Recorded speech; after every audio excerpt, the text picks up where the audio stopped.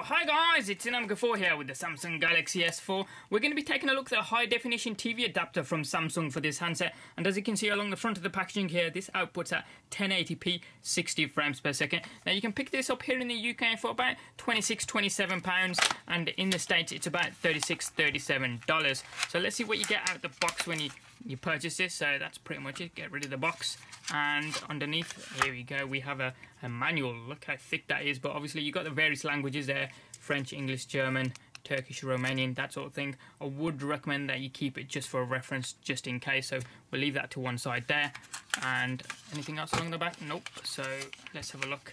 This is obviously the adapter itself so We'll leave that there and this is the ferrite core. Up close you can essentially see that this ferrite core will just wrap around the cabling of the HD TV adapter just to reduce any possible electromagnetic interference that may occur. So all you do essentially wrap it around and it clicks in like so and as you can see along the one side here you've got a micro USB cable that goes into the bottom of the Galaxy S4 handset along the other side of the adapter here you've got a HDMI port as you can see which goes off towards the TV and along this side you've got a micro USB port just to cater for external power so you can charge your device while using it as well. Before I move over to the TV I just want to plug in the TV adapter here to the Galaxy S4 handset and plug in the HDMI lead from the TV into this adapter here and just show you on its own it doesn't power the handset as you can see there but if I put it down and then plug in the power source into this uh, HD TV adapter there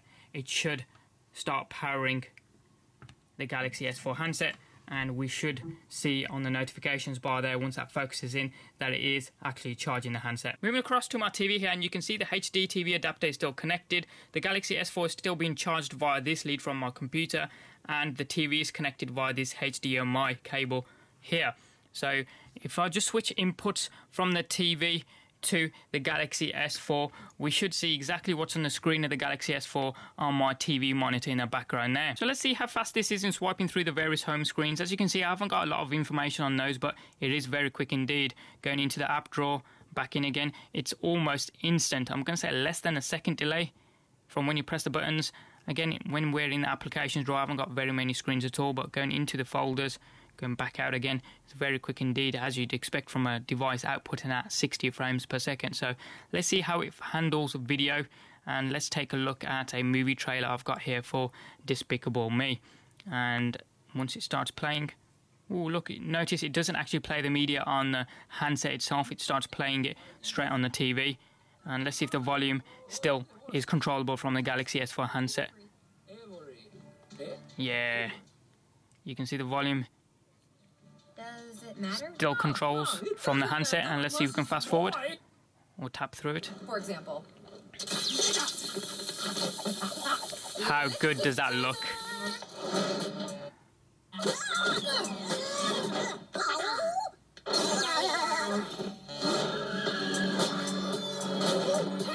That does look good. How a villain thinks.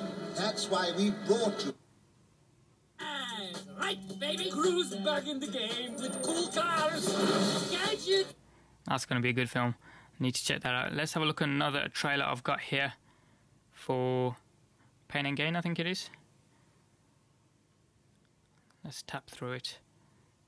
Now I'm with seven honeys of which I can choose from. Oh my god, this guy understands.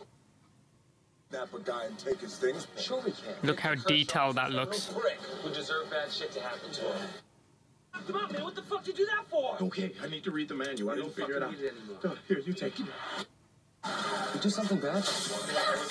Maybe a little. They got my toe. You can see the bone. Let's come out of that, and that looks like a funny film as well. So let's take a look at a photograph or two. Here's a screenshot that we had previously with in-game footage. Look how good that comes through there on the Galaxy S4. I do like that a lot. So let's go back. Another photograph.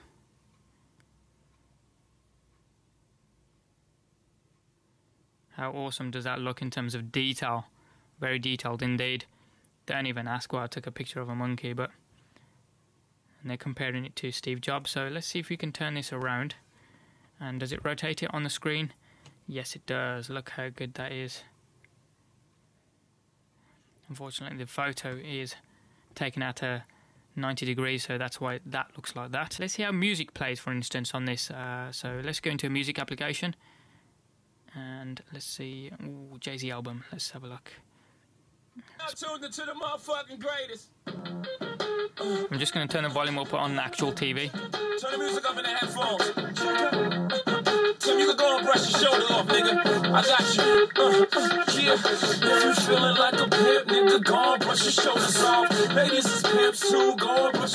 brush your shoulders off. Niggas is crazy, baby. Don't forget that boy told you kid. That, turn up your shoulders. Notice how it still plays the music from the Galaxy S4 even though I pressed the power button to put the f- screen to sleep there and the volume is still controllable while the screen is asleep so the volume's now down The bleachers, they screaming. All the ballers is bouncing. They like the way I be leaning. All the rappers that's awesome so we'll just power that back up again swap to go through.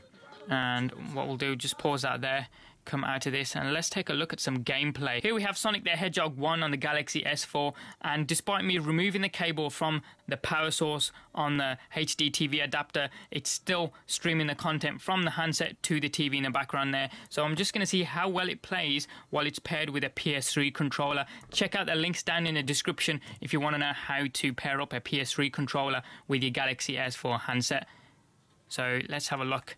Button still working as I would expect.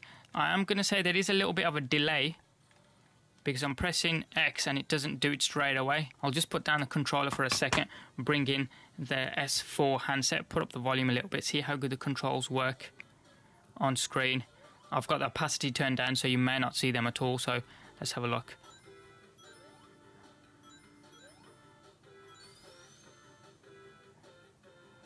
How good do the graphics look for a. Was this late 80s?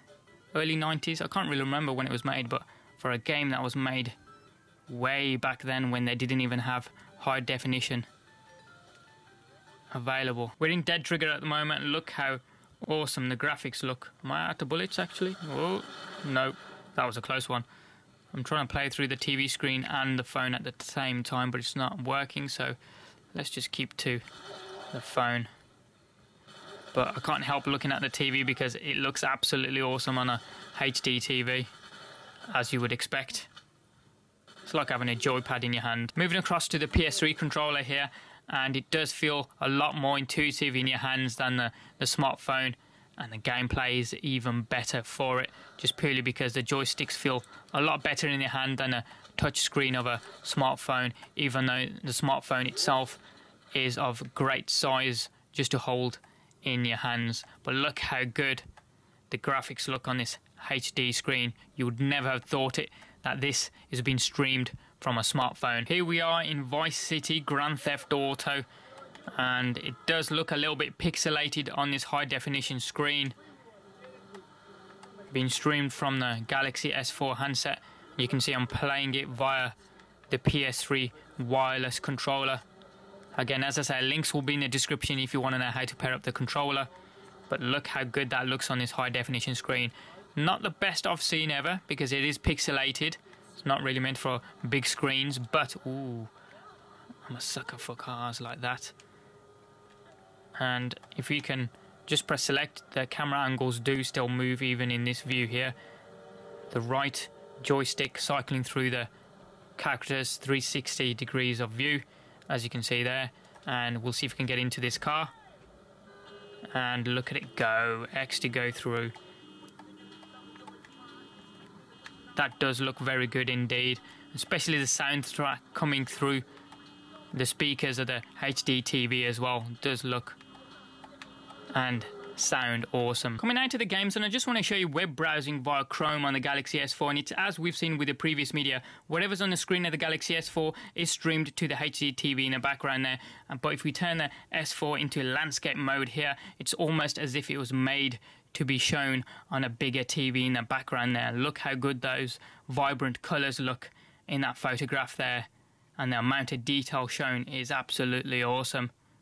Coming through and being streamed from the Galaxy S4, almost being used as a controller rather than a media device itself here when it's connected to a HD TV. And that's been a look at the HD TV adapter from Samsung using the micro high definition link cable here. Any comments or questions you guys have got, hit them up in the comment section down below there. Give us a thumbs up if you like this video and like what you saw. And if you haven't already done so, hit subscribe. It's also down there as well. Doesn't cost you a penny. And you can also check out some of our forthcoming videos. Thanks for watching. Have a wicked day, and we'll see you next time.